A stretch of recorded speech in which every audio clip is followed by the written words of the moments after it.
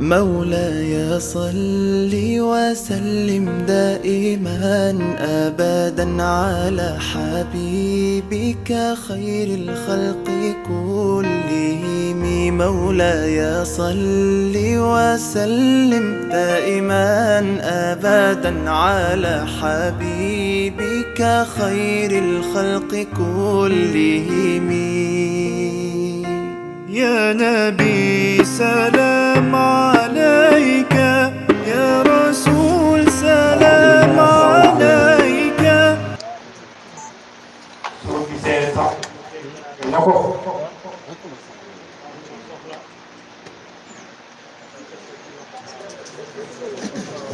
ndax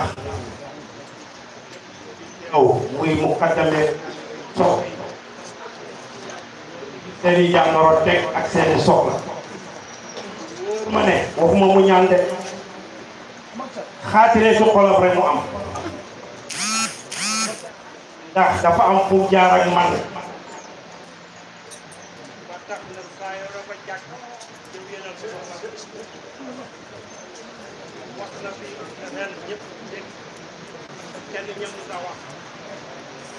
Waxee mu am. Mu waxatee mu am te yàgg naa am. Kon nag baaba taalibe yi sopp yi say yow yëpp soxla yi bëri na jafe-jafe yi bëri yaakaar ci yow yaakaar du tas.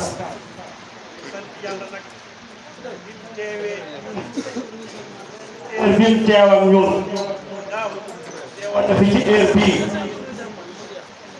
amoon soxla yi amoon. Bi ñu ko yéenee bi mu ñaanee wala bi xaatiree soxla yooyu faj na. Ku wax wax. Man di suma bopp laay faj. Soxla yu ma yéenoon yëpp faj loolu nag laa yéene bokk bi moo tax ma ne lakket ak neen nag. sosok layang yang ada boleh jalan kami yang sholat kalis yang ada boleh jalan kami kalis zaman yang baik ya? Di komaya di pasar di punjir konek nak ma taxoon man la ma dégg dara bi am lu ma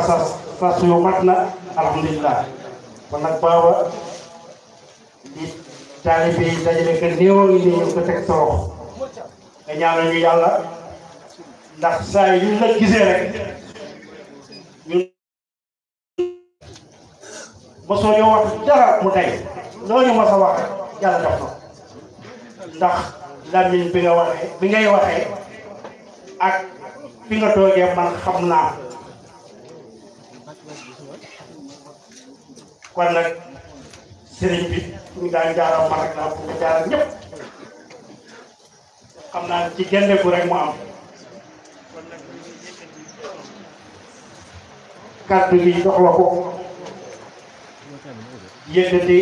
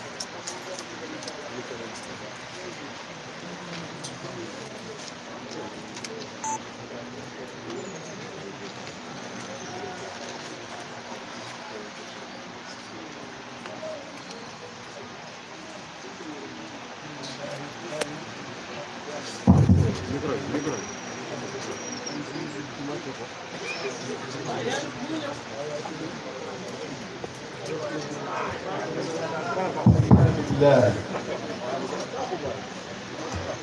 القائل قل لا أسألكم عليه أجرا إلا المودة في القربى.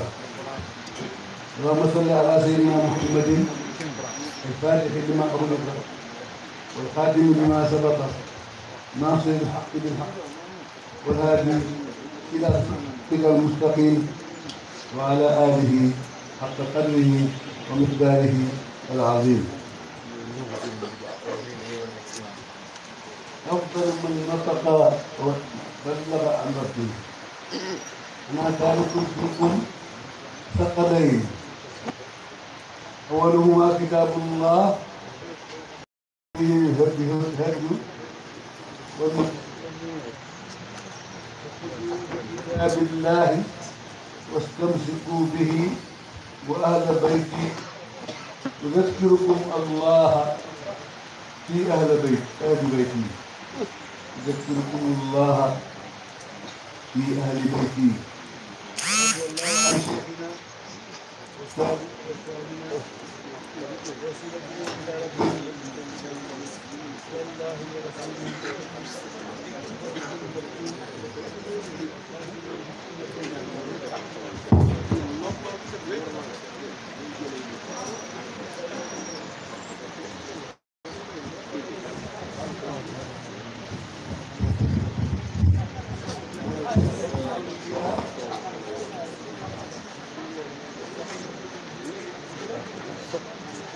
المقربين المعلوم ومجد الخلق من آدم إلى النفخ في السور. القائل مترجما عن المحمدية صلى الله عليه وسلم أقول لكم كما كما قيل في علي بن أبي طالب رضي الله عنه هو تقسيم النار ربنا فقال يقال له ادخلوا النار يقال له ادخل النار فرضي الله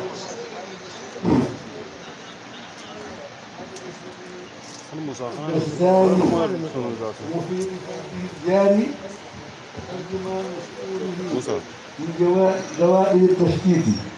الشيخ إبراهيم الذي نوه به بمقامه المتصل بمقام جده حيث لا فرق إلا من الأبوة والأنوة وقال هذا الشيخ شمس والخطوب كواكب غيب نجوم حين ذر ذكاء ممد وغير مستميت ومن يقس أميرا بمأموره عليه غطاء ممد وغيره مستمد. ومن يقس أميرا بمأموره بمأمور عليه غطاء وظهر فيه الجد والجد مظهر لرب إله العرش نعم الولاء.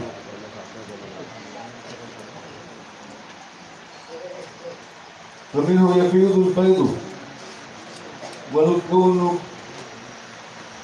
قبضة له منه منع إن يشاء وعطاء هذا عطاؤنا فمن أو امسك بغير حساب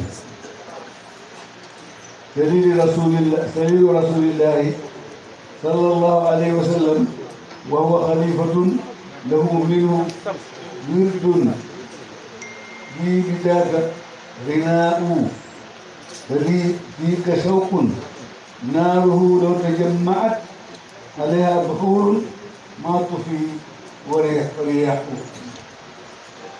حضرات السادة والسيدات من عشاق هذه الحضرة الأحمدية المحمدية وفي طليعتهم منظم هذا الاحتفال المتميز احتفاء النوعي من قطب الأبهار من أبناء وأحباب العاشق العاشق الأشهر والوامق الأبرار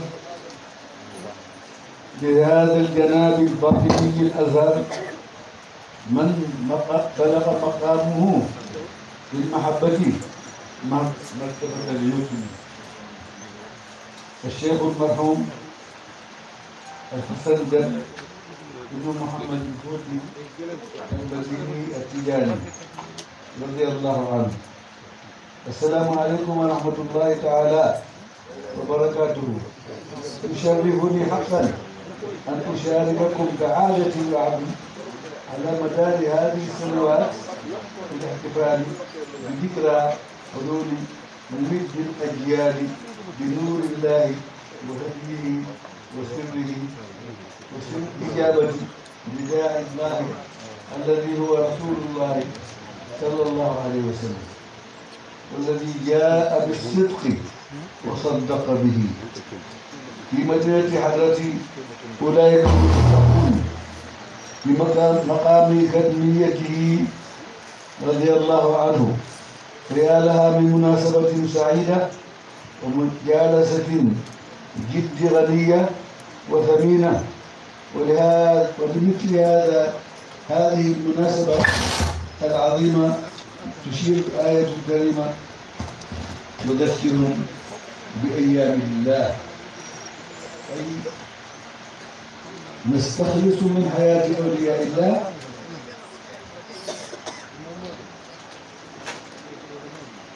أصفيائه وسيرهم العاطرة دروسا وعبرا ونتعلم منها كيف نتحلى على نمطهم بالتوبة والاستغفار وكيف نتحلى بالصلاة على الحبيب المصطفى صلى الله عليه وسلم. ومحبته على خطهم ليسهل لنا التجلي. ولا شك أن حياة خاتم الأولياء ومدهم في صميم تلك الأيام. أمرنا أن نستغفرها لأنها نسخة أصلي من حياة جده الله صلى الله عليه وسلم. وقد ألف في حياته الحافلة المباركة نسخ عديدة من الكتب والحواشي والتعليقات والردود ما لا حصر لها سواء من أصحابه أو معاصره رضي الله عنه. أو من جاءوا بعد بعدهم. وكما أن آل الإنكار عليه رضي الله عنه لم يكف اشتشاق بنادقهم صوبه. وكذلك واقيات أحباب- أحبابه والمنصفين له رضي الله عنه لا تزال منزولة في وجودهم في وجوههم تدافع عنه وتردهم وترجعهم عن ساحته الر- الربانية. وكلا الموقفين دال على عظمة هذا الشيخ وكمال نهجه رضي الله عنه. وكل ذلك لصالحه وكما قال الشيخ رضي الله عنه عليه صلاة الله ثم سلامه ومن رام ضري قد سعى في مصالحه. في إطار هذا الاحتفال بمكتوم الأولياء وخاتمهم الأكبر أود أن أنقل لكم كثيرة من خصوصيته خصوصياته وأقواله في محورين. المحور الأول مقام الكتمية وبعض أقوال- أقواله رضي الله عنه بشأنه. قال المؤلف كتاب الجامع المقترح سيدي محمد بن المشري رضي الله عنه وقد حل سيدنا قطب الأقطاب رضي الله عنه في هذا المقام الأعظم عام 13 و200 ألف من القرن الثالث الثالث عشر من شهر الله المعظم. صبر يوم الاثنين خلت منه 18 ونحن إذ ذاك بمدينة فاس. عمرها الله. آمين. وفضل سيدنا رضي الله عنه كما يقوله مؤلف الجامع فإنه اقتطاع إلهي من فيض من فيض بحر الحقيقة المحمدية باختيار الحق سبحانه وتعالى. فلا منازع أن هذا القطب المكتومة هو الواسطة بين الحقيقة المحمدية وبين الخلق في إفادة المدد والخيرات الدينية والدنيوية العموم. فردا فردا ما عدا النبيين والمرسلين. ومن مقتضيات هذا المقام الذي هو الذروة وسقف الولاية الأعلى إعطاؤه فاتحة الكتاب بنية الاسم الأعظم الذي لم يعط وليا قط قبله. قال رضي الله عنه أعطاني سيد الوجود.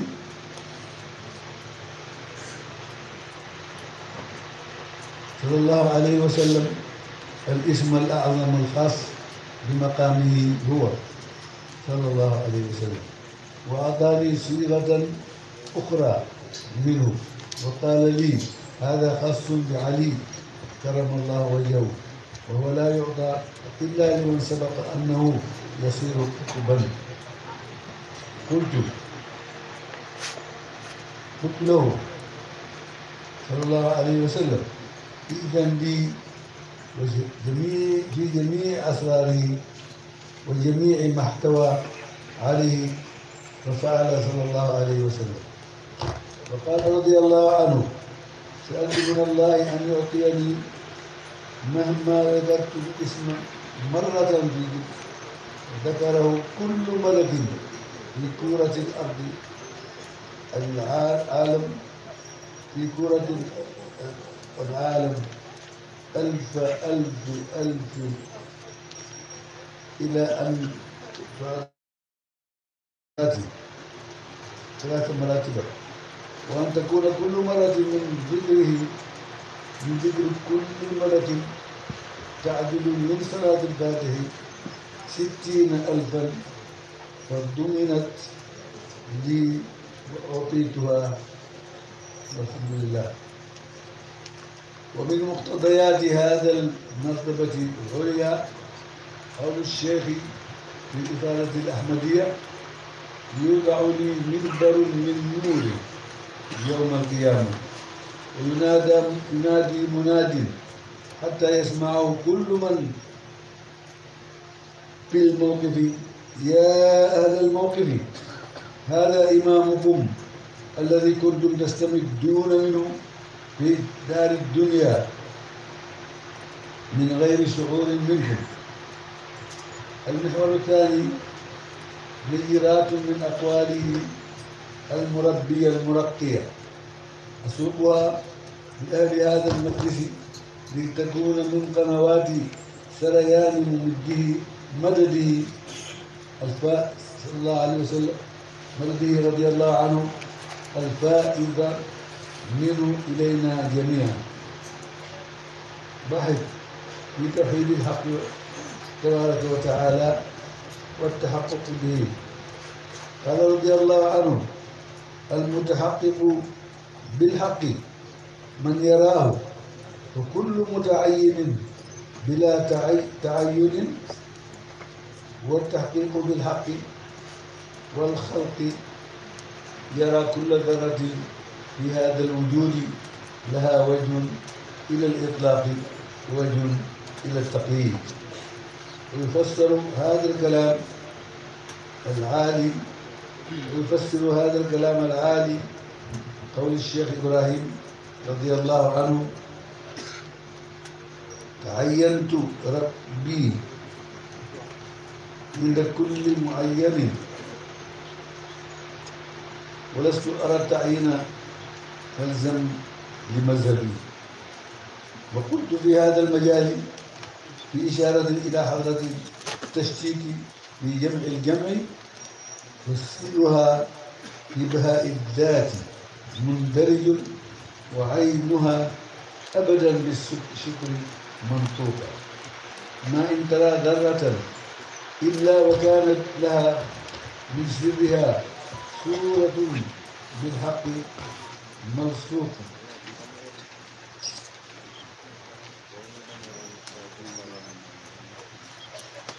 في شأن الفائدة التجارية وانتشار الطريقة بفضلها قال مولانا الخاتم التجاري كما في الإفادة الأحمدية تأتي فائدة على أصحابي حتى يدخل الناس في في حتى يدخل الناس في طريقتنا أفواجا أفواجا وتأتي هذه الفائدة والناس في غاية ما يكونون من الضيق والشدة. ومعلوم بأن ظهور الفائدة صادف بروز الأزمة الاقتصادية المالية في عام 1950 والتي انطلقت بوادرها الأولى من الولايات المتحدة الأمريكية. عام 1929 بين الحرب العالمية الأولى والثانية. والتي جلبت الويلات وضيق المعيشة بالإنسانية. وهذا مصداق قول الشيخ رضي الله عنه. والناس يكونون في أشد في غاية غاية ما يكون من الضيق والشدة. وانتشار الفائدة التجارية في جميع أنحاء العالم أضحى من ظواهر العصر.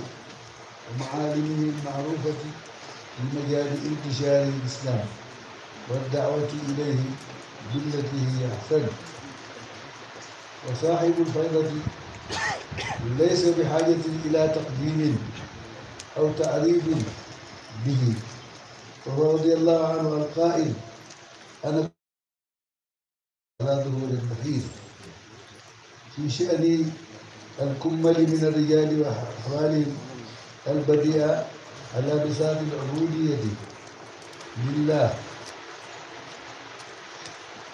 قال رضي الله عنه الكامل من الرجال يكون مع الله بلا أين ولا كيف.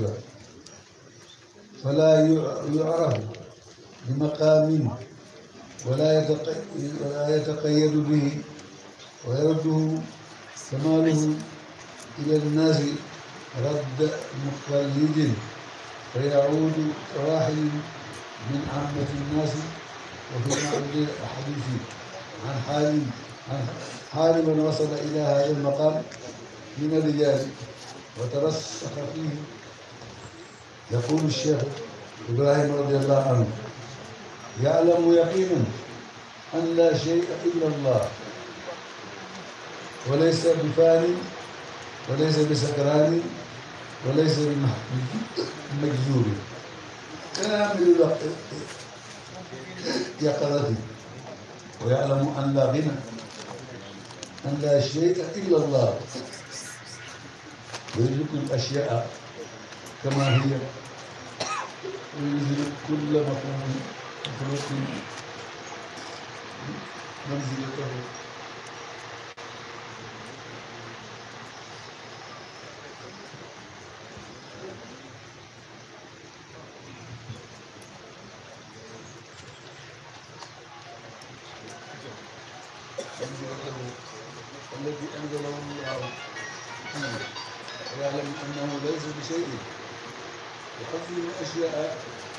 يعتبرها موجودة ويخاف من أشياء ولا يعتبرها موجودة. ويحب أشياء لا يعتبرها موجودة. يتكلف جم- جميع أفعال الخيرات. يصلي يصلي ويصوم ويحج ويتصدق وينفق بماله وكل هذا أدبا مع الله. هو يعلم أن ليس هناك شيء. إذا وصل العبد إلى هذا فقد ارتبط بالله ارتباطا حقيقيا. لا يفعل شيئا إلا بالله. هذه البسملة متصلة بالفاتحة. دون التفات إلى أقوال الم- المالكية بهذا الخصوص. قال رضي الله عنه.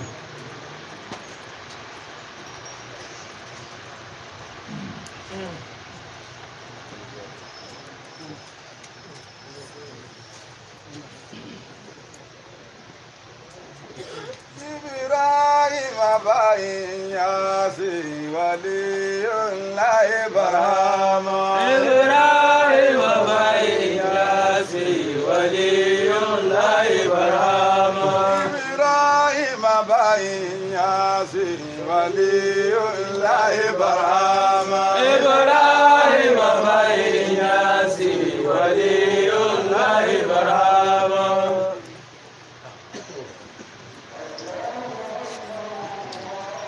يحب أشياء لا يعتبرها من موجودة. يتكلف ج- جميع أفعال الخيرات. يصلي ويصوم ويحج ويتصدق ويبدئ بماله وكل هذا أدبا مع الله وهو يعلم أن ليس هناك شيء. إذا وصل العبد إلى هذا فقد ارتبط بالله ارتباطا حقيقيا. لا يفعل شيئا إلا بالله. بفضل البسملة متصلة بالفاتحة. دون الالتفات إلى أقوال المالكية بهذا الخصوص.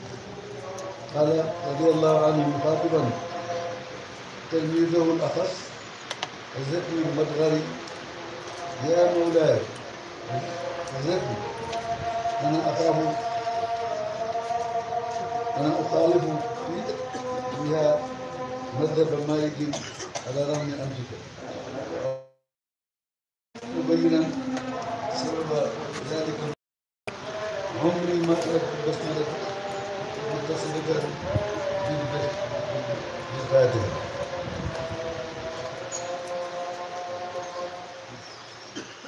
لا في الصلاة ولا في غيرها. للحديث الوارد في فضلها المؤكد باليمين باليمين. ونص الحديث هو قال الله تعالى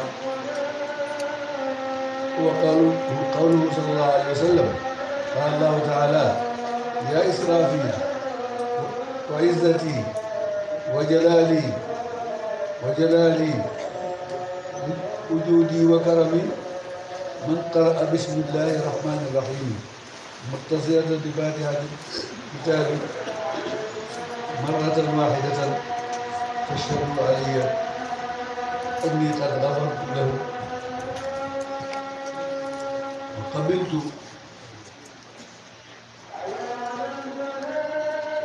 منه الحسنات. وتجاوزت له من من السيئات.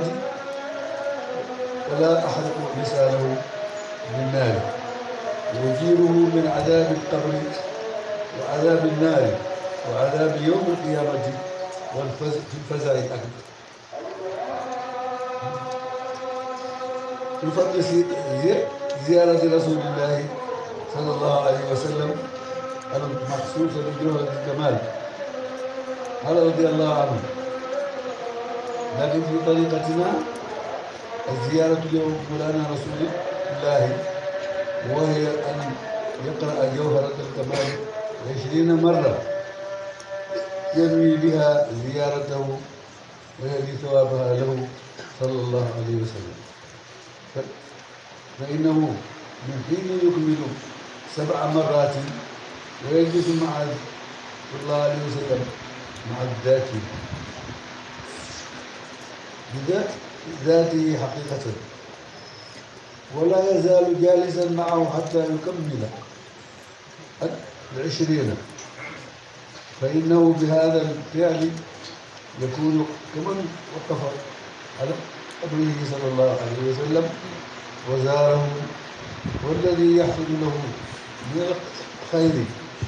والثواب بهذه الزيارة لا يأتي عليه الحصر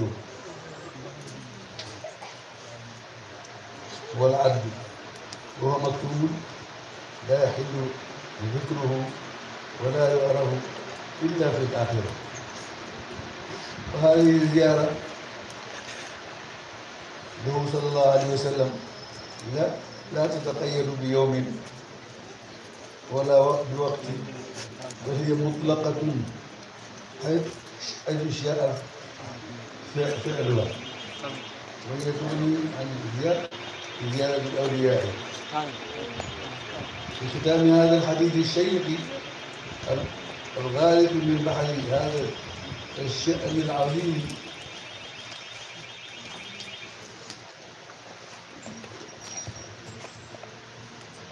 من شؤون الحق تبارك وتعالى أتضرع إلى الله الكريم الوهاب الرحيم الودود متوسلا بلساني لكم جميعا بذات أحمد وبحضرة ولايته وبمقامها مقام مقاميها الختمية والكتمية استملاله من حضرة جده سيد الوجود صلى الله عليه وسلم.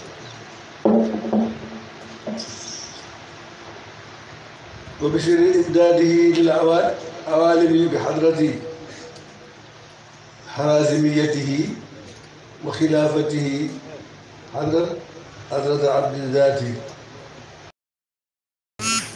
والصفات. أن يتكرم علينا بإصلاح شؤوننا وشؤون المسلمين وأن نرجع إلى الحق عز, وجل رضي الله عنهم ورضوا عنه ذلك لمن خشي ربه وأن يحيينا حياة طيبة في الدارين في الدين. وأن يهيئ لنا من أمرنا رشدا حملة حملة لرسالة الشيخ إلى العالم. رسل خير بهذا النور المبين إلى الأمم. وتتحقق فينا بشارته القائلة أراكم ملوك الأرض. لا شك فاسألوا. اللهم آم- آمين. وصلى الله على سيدنا محمد وآله حق صحبه حق قدره داره العظيم. ودمتم في رعاية الله. وفي كنف أدنا في هذه الحضرات. والسلام عليكم ورحمة الله تعالى وبركاته.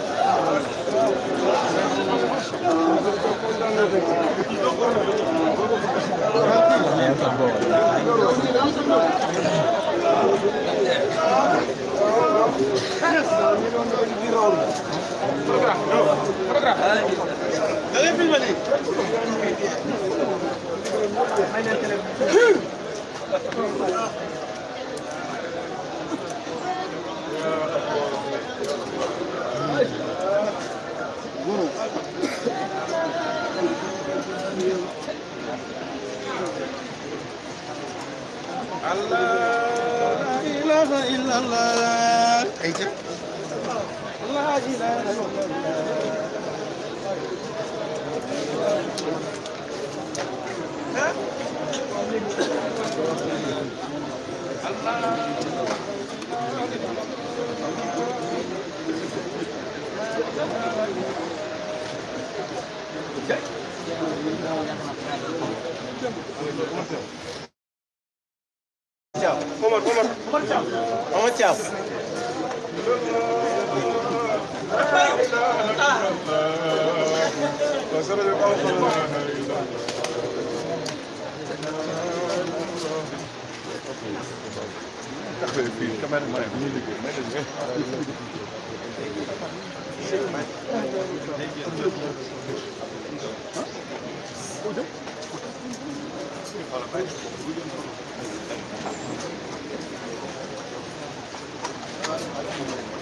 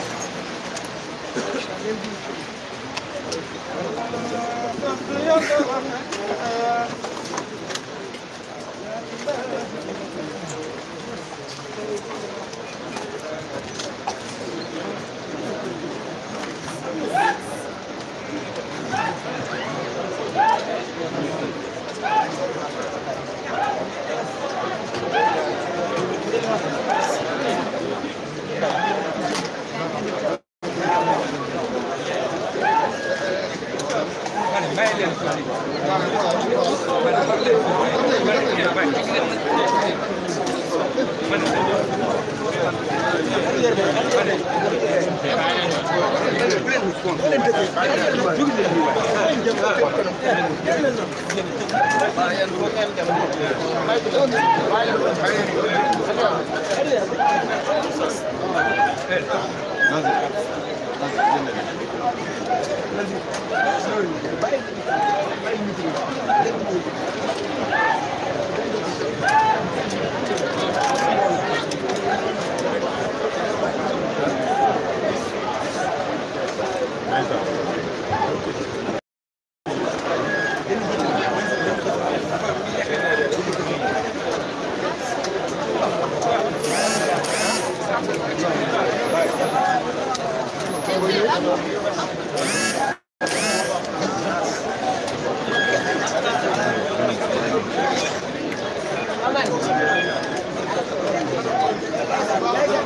Voilà.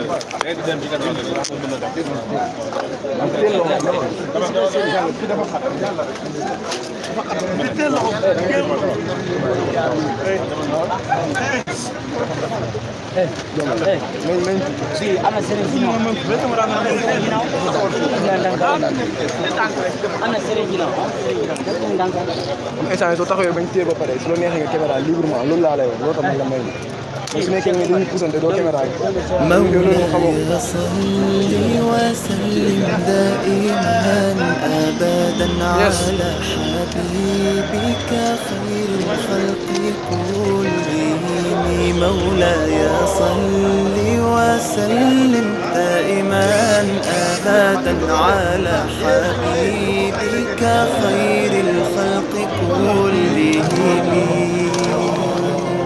يا نبي سلام.